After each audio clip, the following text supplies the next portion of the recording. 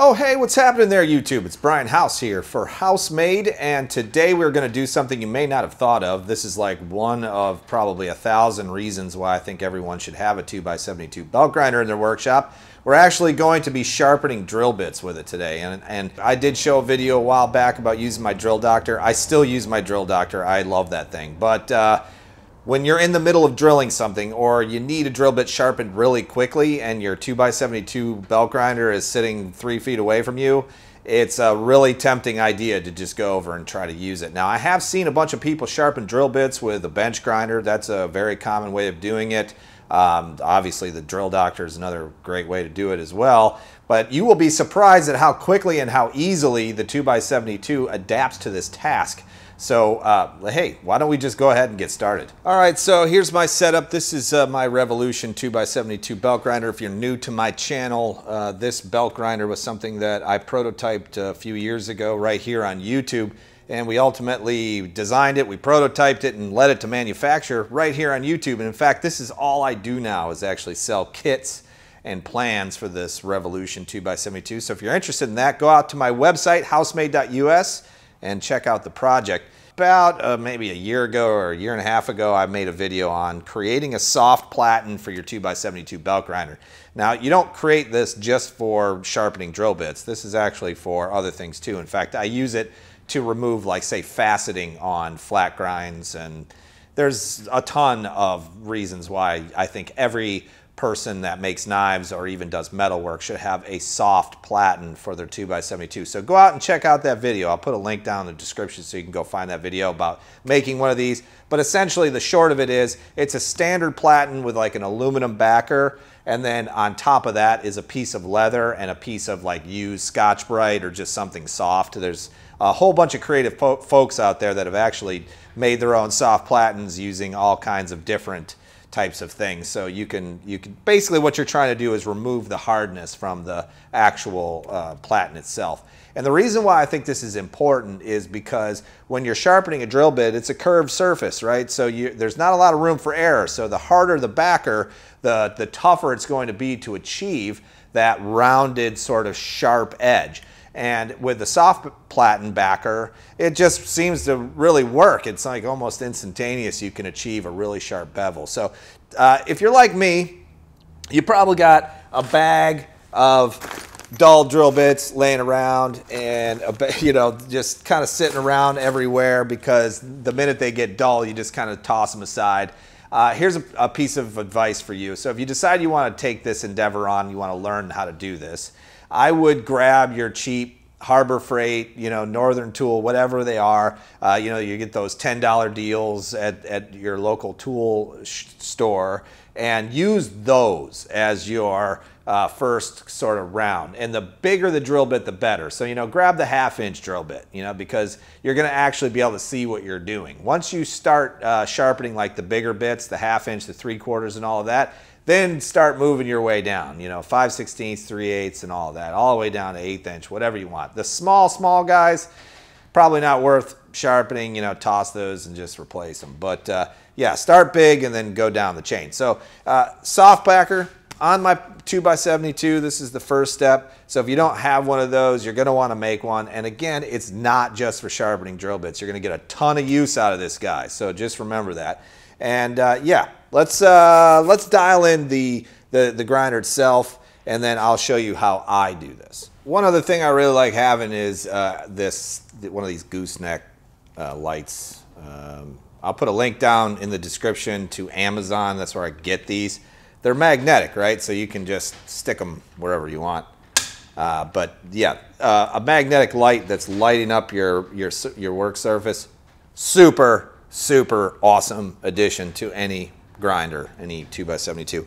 So in the uh, interest of uh, kind of showing you the demo, this is a three quarter inch uh, drill bit and it's in okay shape. I sharpen these on the regular, but this one's been chipped up a little bit and it's definitely dull. It's hard to see in this uh, with this video, but this is definitely dull. Like I use these to drill out uh, laser cut parts and deburr things. So this thing gets beat up on the regular And that's actually what kind of spawned the idea for this video was that I was deburring parts for the Revolution kits and these bits kept going dull on me. So quick and easy way, I figured it out and then I started using it more and more and realized this is such a useful tool. I have to share this with the YouTube community.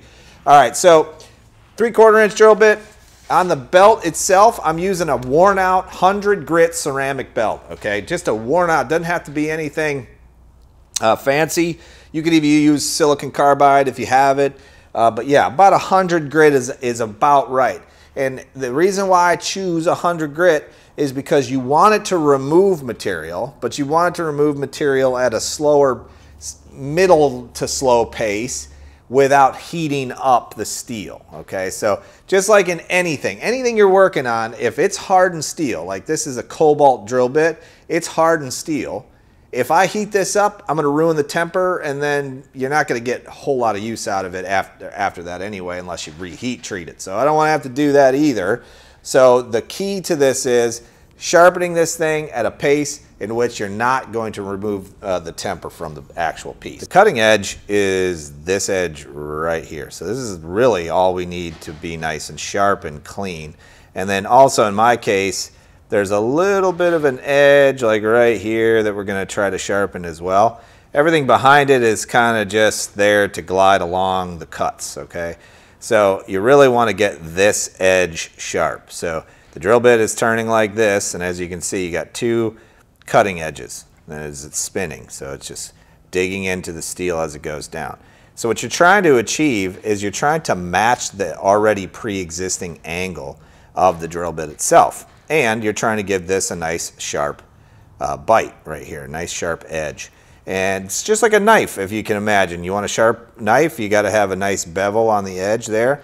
But in this case, because it's curved, you're just going to match it. So as we drag this across the belt, you're going to see that I'm taking this edge and just kind of shaping it down and making it nice and sharp. Okay, so uh, uh, the best way to shoot this is just straight down so you can kind of see the uh, angle that needs to be achieved while doing this. This is where the soft platen really shines, and it's because, uh, you know, we're going to be pushing up against this platen and turning this um, clockwise to kind of just get it uh, down against this belt and we're going to try to match this bevel right here all right? It's not the end of the world if you don't do this correctly because it can be corrected while you're while you're working on these things so don't don't uh, be too nervous about it. And remember you're working with a dull drill bit anyway so you know if you screw it up you know it's not the end of the world and and you're going to have a little bit of time to actually uh, you know, get it fixed. Also, there is this other cutting edge right here, this little bevel right here. We're going to go ahead and clean that up as well. One other tip is going to be to have a cup of water near you so that you can dip as you're doing this. You really want to keep this steel cool while you're working, and that way you don't ruin your temper. So, hey, let's give it a shot. Just running at 25% on this, okay?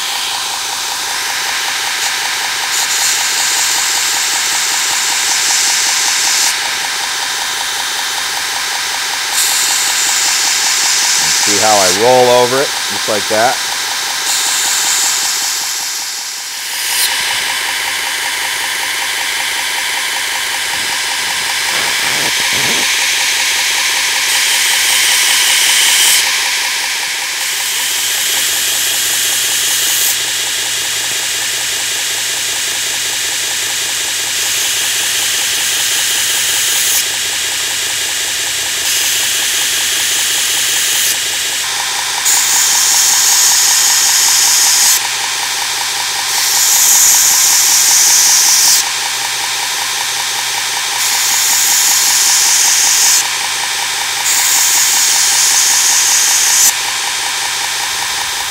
Okay, so we did the three quarter drill bit and I just want to go down to a half inch, right? This one is really beat up. These are the titanium coated drill bits from Harbor Freight. I get that question a lot about sharpening your own drill bits. It's like, well, you're rubbing off the titanium coating.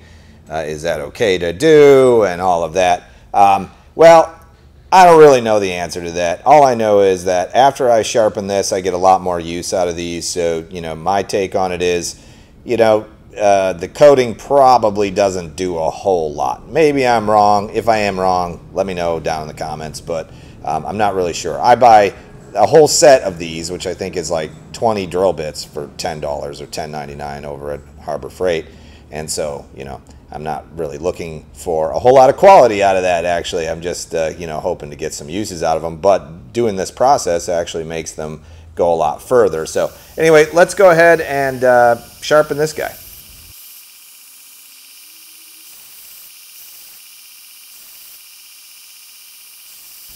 All right, looking pretty good. You can also see the consistency of the light as it falls over the edge. If you've got a lot of faceting on there, that's something you may want to try to correct. You can kind of just look to see, you know, how the light falls over those curves. And again, that's the reason why I like the soft platen because those curves, they just kind of fall into line. Okay, one last thing I need to put a sharper edge on is this deburring tool. Um, I just wanted to show you that you literally can sharpen anything on this. Now, I wouldn't sharpen chisels or anything like that with these because the softness is going to round over the chisel. You're really going to want a hard backer for that. But stuff like this that's got like a round edge to it, it's perfect. So let's go ahead and clean these edges up and uh, we'll have like a brand new deburring tool.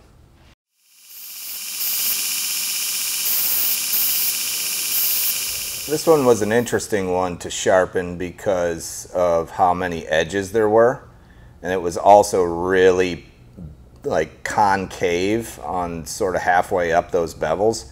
So I had to really rework those edges, but it came out really nice. Look at that. That just took me about three minutes. Once you start getting the, the feeling of how this, this works, uh, it becomes kind of a relaxing process to put edges back on things like this. Okay, so uh, in the interest of science, we have to know if this drill bit actually does work. So uh, let's go ahead and uh, chuck it up and drill through a piece of scrap, quarter inch wall, mild steel, no pilot hole, and we'll use some cutting oil and we'll see if it uh, goes through.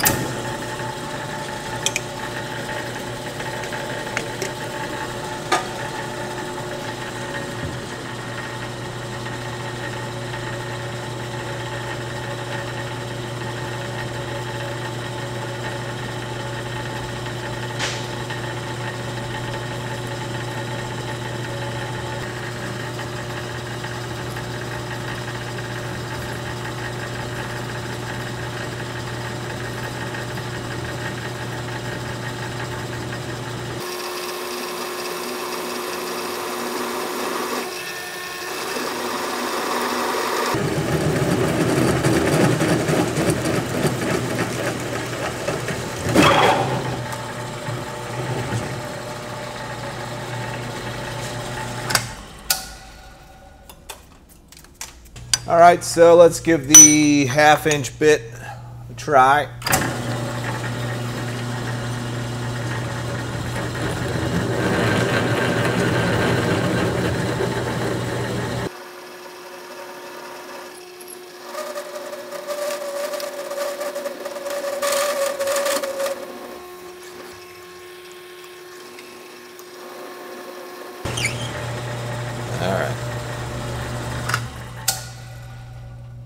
This half inch bit is beat.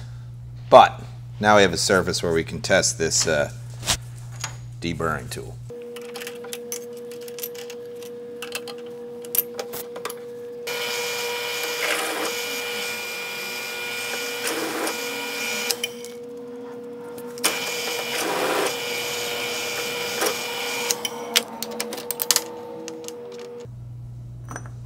Not my favorite. I'm still a big fan of these single fluted guys. They do a much cleaner job. But these are nice for like softer things like wood and things. Let's, let's take a look at the difference.